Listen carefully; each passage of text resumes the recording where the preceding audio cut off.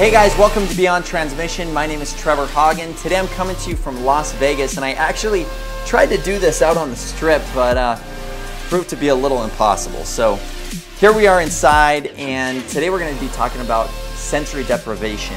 Recently, I spent an hour in a sensory deprivation tank, and today I just wanted to tell you a little bit about my experience, um, some tips if you decide to go, and some of the benefits from doing it as well.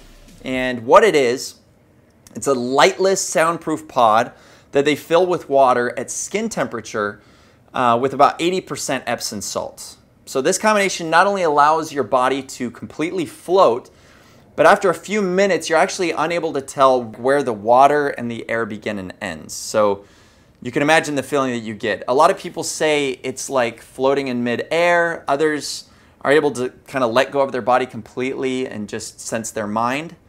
Uh, sort of like you would if you were like really experienced, like a master at meditation. So anyway, when I went into the spa, at first I was a little worried about closing the pod completely because I, I didn't want to like experience any claustrophobia. But I did it anyway because I really wanted to have the full experience. So I shut it and I laid back. It was crazy, you just float instantly. And I quickly fell into a different state of mind. It really is crazy how quickly you can just let yourself go if you're prepared and you're really wanting to. Um, I experienced some euphoria for sure, and also I did get this disoriented feeling at one point, as if I was like floating in the universe, not knowing which way was up, which way was down. It wasn't so much like a dizzying uh, feeling. I was in there for about an hour, and time began to like bend a little bit. I remember worrying about how long I had been in there and stuff. Afterwards, I felt just totally relaxed, rejuvenated. I really enjoyed it. The world seemed like brand new, and uh, I was very positive. Definitely not your typical spa experience. Um, anyway, some tips I would give anyone that's looking to go would be the following. Number one, prepare yourself physically. Go to the bathroom before you get in the tank. You don't want to, you know, 20 minutes in, need to disturb your experience to get out and go to the bathroom.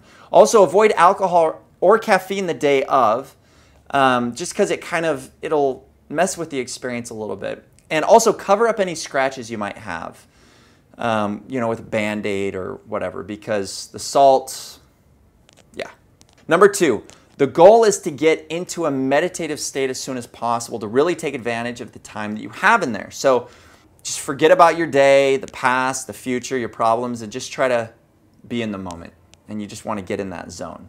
Number three is go in with a purpose. People that float consistently say that they actually find cures for insomnia, relief from chronic pain, anxiety, stress, depression, even addiction, and so on. So, whether it's for something physical, mental, or spiritual, it's definitely worth going and knowing what you're looking for.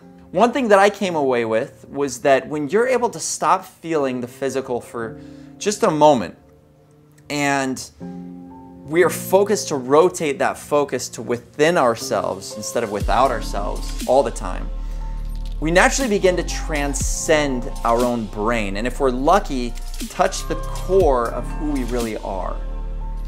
In this space, call it whatever you'd like the infinite, the unified field, the soul, whatever. But here exists everything you could possibly need. And the mind naturally delivers that to the brain and the body.